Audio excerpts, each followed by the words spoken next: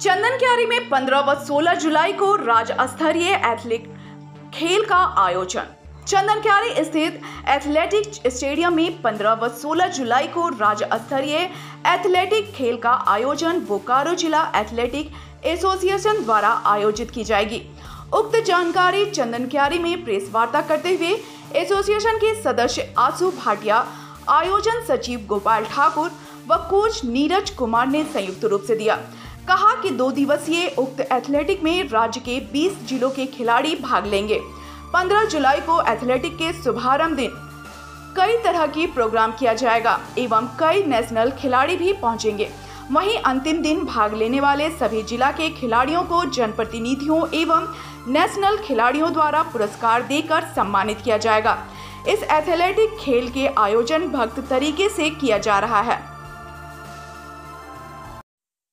पंद्रह और सोलह जुलाई को चंदनकारी प्रखंड स्टेडियम, जो नवनिर्मित स्टेडियम है, इस स्टेडियम में प्रथम झारखंड राज्य अंडर 18 अंडर 20 जूनियर बालक बालिका एथलेटिक्स प्रतियोगिता का आयोजन किया जा रहा है।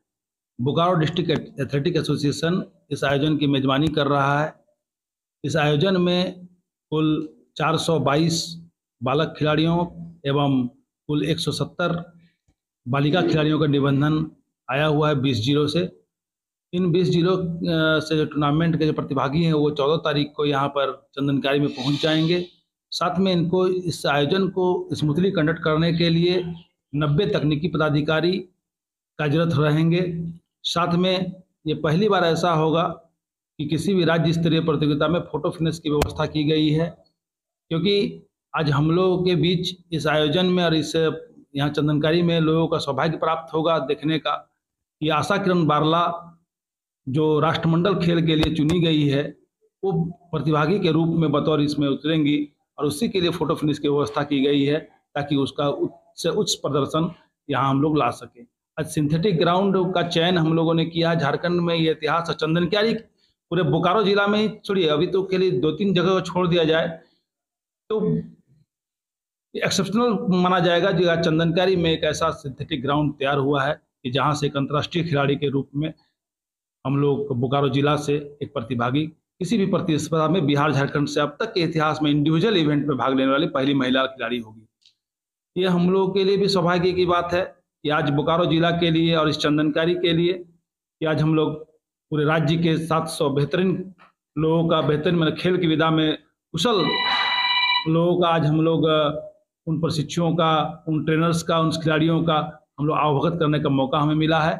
हम एक अच्छी मेजबानी देने का काम करेंगे। इसके लिए हम लोग प्रयासरत है, पूरी आयोजन समिति प्रयासरत है। आयोजन के से जुड़े सभी लोग, खासकर जिला के सचिव आशु भाटिया जी, ज़िले के तकनीकी पदाधिकारी तकनीकी कमेटी के चेयरमैन अशोक भट्टाचार्य जी और खासकर इस सेंटर के जो हम लोग का आवासीय प्रशिक्षण सेंटर है, इसके कोच नीरज जी हम लोग के साथ कदम से कदम मिलाकर इस आयोजन को सफलीभूत करने के लिए दिन रात एक किए हुए हैं।